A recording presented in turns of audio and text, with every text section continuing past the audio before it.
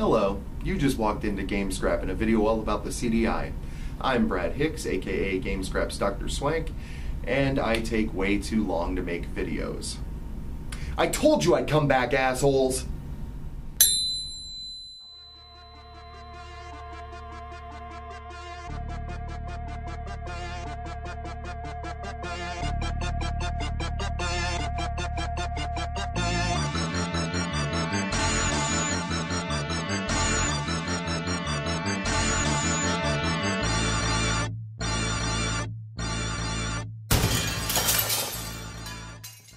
When you sit back and think of the handful of horrible gaming consoles that have graced us over the past 20 years, none could be considered more of a diaper rash than the CDI from Philips. After all, what other console got opportunity handed to it on a silver platter more than this thing? I can't, up my VCR. They had CD Media, they got characters on loan from Nintendo, so how in the hell can you mess all that up? Well, they managed to find a way to make something that falls between the Virtual Boy and the N64 in utter uselessness. So without further ado, here's a brief rundown of the CDI, one of the most confusing consoles ever released. The choices we make in life affect the outcome, is that it? A very interesting observation. May I show you how to hook up a compact disc interactive machine to any television set? First announced way back in 1986 and finally released in 1991, the CDI started a seven year uphill battle and countless identity issues to become one of the most loathed yet intriguing game consoles in recent years. Its history speaks more for the console than the games ever could. So let's start with a quick history lesson on how not to market a high end interactive machine that may have never been intended for games in the first place. 1986, Philips creates the compact disc and announces the CDI, or Compact Disc Interactive, a machine that not only plays CDs but actually lets you interact with them. In an effort to drum up support, development kits and prototypes are given to developers by 1988. That's a full three years before the machine is unleashed into the world. 1991, and you could feel the disappointment in the air as five years of waiting come to an end. The CDI is released and marketed as a high-end CD player capable of not only music, but video discs, photo discs, discs that enable your drunk friends to sing karaoke, and of course the proprietary interactive CDI formatted discs. The first titles released for the CDI consisted of interactive encyclopedias, self-help applications like the laughably bad Joy of Sex,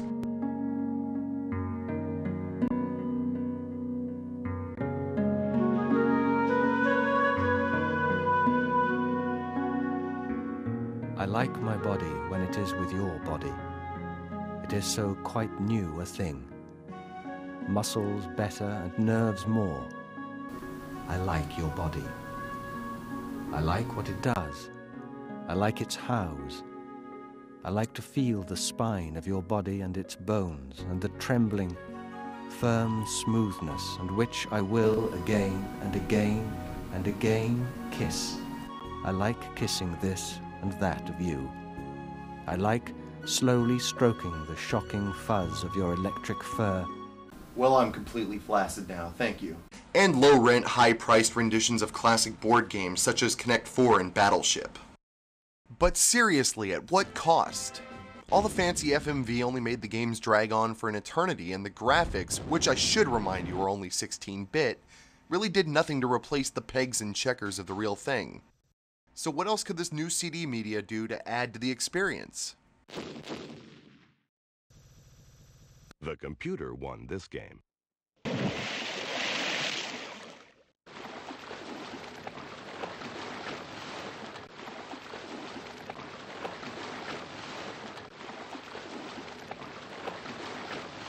Of course, this did nothing to improve these Borid games, but what it did do was foreshadow the sort of multimedia gluttony that plagued that generation of hardware. You know, games that aren't worth wiping your ass, tacked onto a cheesy cock rock soundtrack, while the guy in the sound booth is getting off on using thousands of sound effects from their public domain attic. Of course, that initial $500 investment to get the hardware really didn't get you the full experience. Uh, no experience was complete without this. This Motel 6 Bible-sized uh, thing here is a digital video cartridge uh, sold separately by Philips.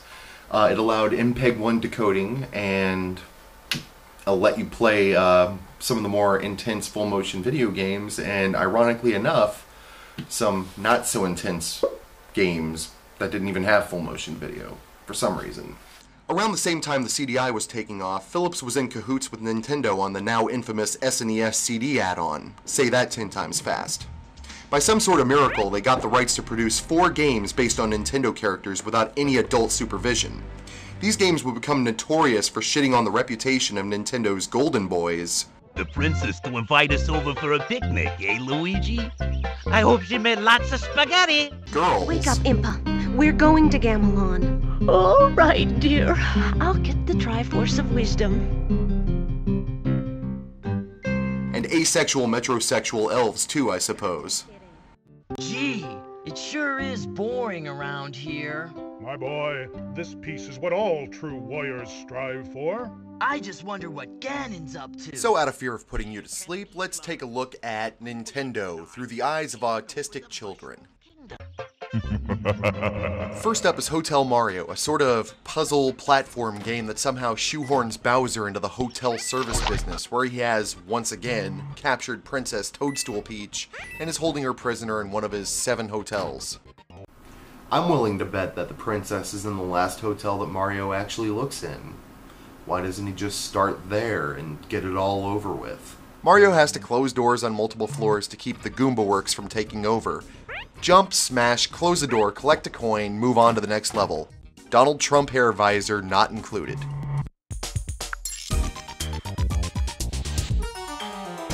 Next, we have everyone's favorite asexual Androno child, Link, in Link the Faces of Evil. Here, Link is embroiled in a story that's far too complicated for me to sum up, so let's just get it straight from the source. Your Majesty, Ganon and his minions have seized the island of Koridai. Hmm. How can we help? It is written, only Link can defeat Ganon. Great! I'll grab my stuff! Taking a page from Bastard Child sibling Zelda 2, the game is played from a side-scrolling 2D perspective where Link must fight and jump over things on one half of a painting, then jump and fight up the other half just to get anywhere. If he doesn't die first, that is. Sorry, Link. I can't give credit. Come back when you're a little, mm, richer. Knowing full well that Link Faces of Evil was a miserable experience, Animation Magic decided the fans needed more. So they threw a new coat of paint on Faces of Evil and came up with Zelda Wand of Gamelon, which has you playing, oh, you guessed it, a palette swapped Link as Princess Zelda in another side scrolling kid's finger painting. Same awful animation, same awful game. This time Link is captive and Zelda has to save him. It's role reversal at its most hilarious. Isn't it lovely? Bring some fairy dust and I'll make it a magic cloak. Last up, we have what's probably the most interesting and almost playable Zelda's Adventure. When it makes up in classic Zelda gameplay, it counters with a laughably low costume budget, amazing voice acting, and creepy digitized presentation. I am so exhausted from my travels. If only I'd known to cross the chasm rift with the ladder, it would have saved me months. The fact that Zelda's Adventure wasn't even produced by Animation Magic was advantageous, but not nearly enough to redeem the damage that had already been done. This was the final turd hurled in the faces of Nintendo's top tier.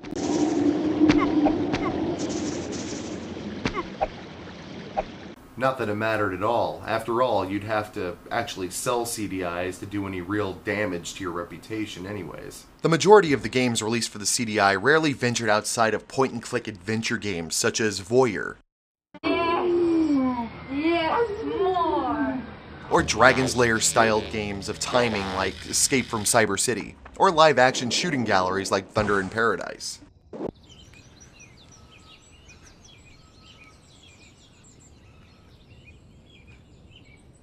Once in a while, though, a real game from a real genre will pop up. For instance, shooters like Steel Machine, or platformers like The Apprentice, which actually turned out to be one of the best games for the console. It's just too bad none of these games could ever be experienced the way they are intended thanks to the hardware limitations of Philips' big black monolith. Here's a great example of platforming, CDI style. Here's Christmas Country. Now, Christmas Country is a very straightforward, easy platforming game aimed at children. with a Christmas theme. Not much to it except for the fact that it's about impossible to play with this controller. The basic mechanics go like this. You're supposed to move left to right with this D-pad, you sprint with the one button, you jump with the two button. Um, unfortunately, in practice, it turns into a game of Twister between your two thumbs, the D-pad, and the uh, two buttons here. Um, at the same time, it's very convenient because you're already going to be in a prayer position hoping that this controller isn't going to cut out on you in the middle of a jump for the umpteenth time. Oh hey, it's 1994 all of a sudden, and the CDI is selling worse than Guitar Hero by this point. So the geniuses at Philips decide to give the console a makeover and market it as a gaming machine. A newer, slimmed down, and sleeker model with an actual honest to god gamepad is released, and pandered as one of the first CD based gaming machines. Rumors that an all night brainstorming session of listening to Ace of Base's I Saw the Sign leading to this decision are greatly over exaggerated. To further drum up support, Philips airs constant late night infomercials featuring a guy named Phil who is held captive in front of a giant version of the TV wall from A Clockwork Orange. He's kept until Stockholm Syndrome ultimately sets in and is only released when he gives up his wallet for a CDI and his freedom. After all, who better to sell your $500 machine to than the drunk, unemployed, or tweaked out? Send down the next one. Certainly. While the rest of the world is awake, however, Philips starts an almost creepy ad campaign featuring the late Phil Hartman, which is about the only good thing to come of this whole mess. Say you're watching TV and this guy says... It's CDI, friends, the next generation CD player that works with your TV. And you'd say... But I have a CD player. And your mom says... No, dear. CDI works with your television. You'd probably feel pretty dumb and maybe even fake it like you'd already experienced the ultimate in games, movies, music, and more. Trust me, babe, I know about this CDI stuff. This newer model, the CDI 450, gets packaged with one of the CDI's most visually impressive games, Burn Cycle.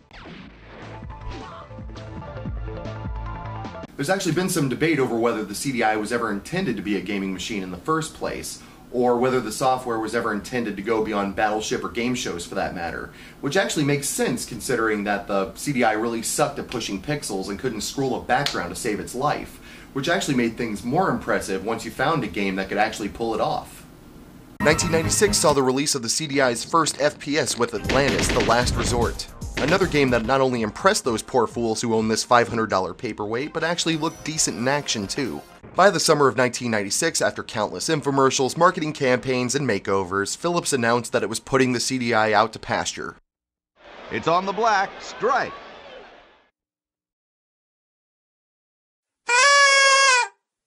Of course, the demise came at the hands of actual real gaming consoles coming to market, namely the PlayStation and Saturn.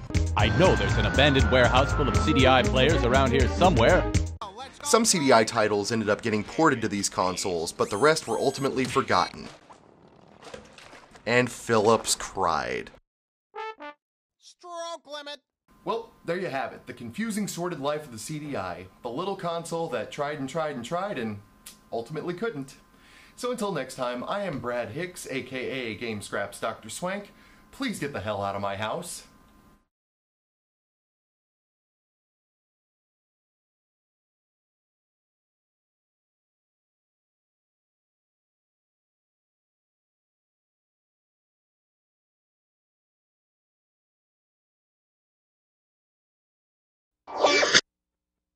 Me name is Harry the Harrier, fool. I come from Zeltoid with the aliens to rule. I've learned trickery from Henry VIII and more, and I lead the brain blobs with a vengeance in store. I've traveled in the time machine a zillion more years than you, and though you may have it now, what good can you do? We've captured the dinos and brought them into today. Unless you move quickly, there'll be little more to say.